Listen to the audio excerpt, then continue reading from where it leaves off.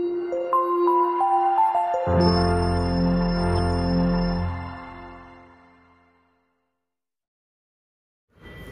everyone welcome back to my channel ఎలా ఉన్నారు? మీరందరూ నేనైతే చాలా బాగున్నాను. మీరు ఎలా ఉన్నారో కమెంట్స్లో నాకు చెప్పేసేయండి.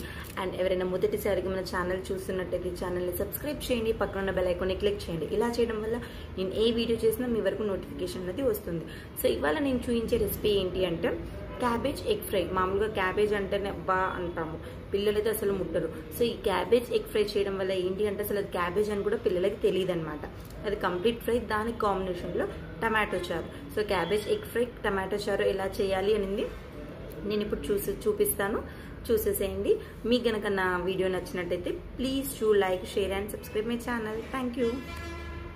Cabbage egg ఫ్రైకి ముందుగా మీ మీకు అంటే ముందుగా ఉండే పని ఏంటి అంటే ఆనియన్ కట్ చేసి పెట్టుకోవాలి తర్వాత క్యాబేజ్ కట్ చేసి పెట్టుకోవాలండి.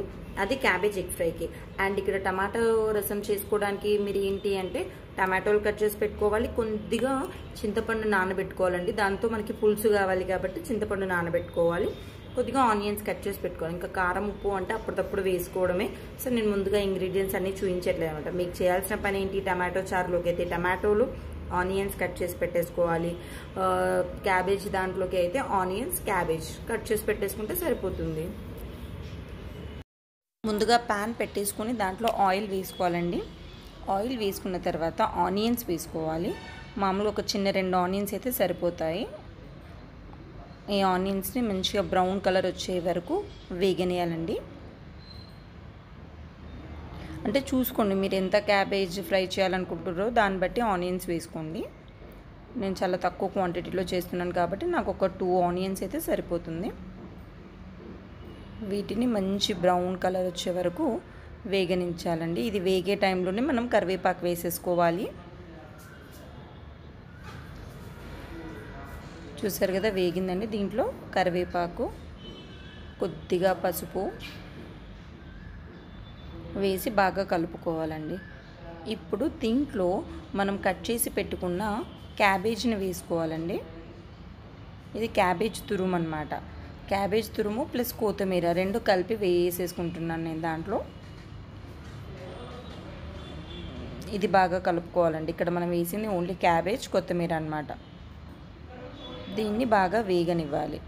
కాసేపు మనం దీన్ని ఏం చేద్దామంటే మూత పెట్టేసుకొని ఒక ఐదు నిమిషాలు మగ్గనివ్వాలండి.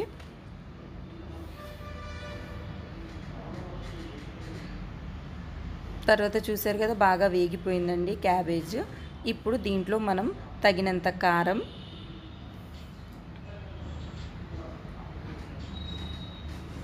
కొద్దిగా ఉప్పు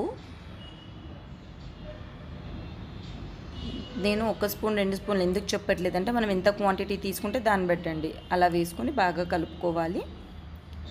సిమ్ మీద పెట్టేసి కొంచెం వేగనివ్వండి. చూసారు కదా బాగా వేగిపోయింది. ఇప్పుడు దీంట్లో మనం ఎగ్స్ వేసుకోవాలండి.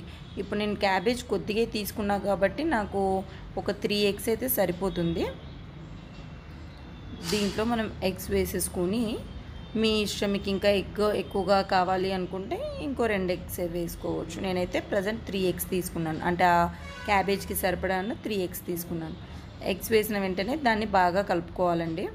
ఎందుకంటే మనం ఇదంతా కూడా సిమ్ మీద ఎక్కడ చేయట్లేదు. ఫుల్గా హై ఫ్లేమ్లోనే చేస్తున్నాం కాబట్టి బాగా కలుపుకోవాలి. దీంట్లో కొద్దిగా గరం మసాలా వేసుకొని మళ్ళీ కలుపుకొని మీకు అది మాడినట్టు అనిపిస్తుంది కానీ ఎక్కడ కూడా మాడలేదండి బాగా వచ్చింది. ఇప్పుడు మనం దీన్ని బౌల్లో తీసుకొని సర్వ్ చేసుకోవడమే అండి. చూసారు కదా ఒక బౌల్లో తీసేసుకున్నాను దీన్ని. చూస్తే మీకు ఎక్కడ కూడా అది క్యాబేజీ లాగా అనిపించడే అనిపించడం లేదు ఎగ్ ఫ్రై లాగే ఉంది. సో మన క్యాబేజ్ అన్నది రెడీ అయిపోయిందండి.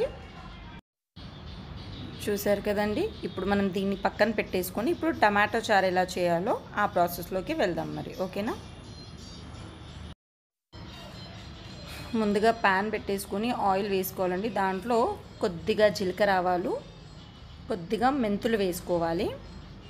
దాంట్లోనే ఒక రెండు మూడు పచ్చిమిర్చిలు వేసేసుకోవాలి. ఒక్క ఆనియన్ అయితే సరిపోతుంది. అది కూడా సన్నగా తరగాల్సిన అవసరం ఏం లేదు. కొద్దిగా కరివేపాకు వేసుకోండి.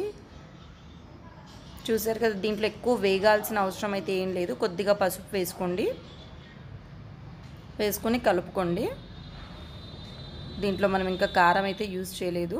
ఇప్పుడు దీంట్లో టమాటోలు వేసుకోవాలండి. కడిగి పెట్టుకున్న టమాటోలు వేసేసుకోవాలి.